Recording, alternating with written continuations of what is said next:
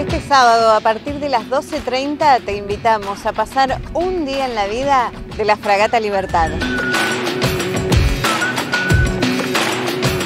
Vamos a conocer cómo es su interior, cómo es el trabajo que realizan los tripulantes durante la navegación y cómo son sus días cuando están en puertos preparándose para partir.